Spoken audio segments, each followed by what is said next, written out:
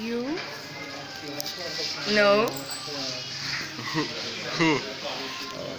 Is the patron of Gardeners.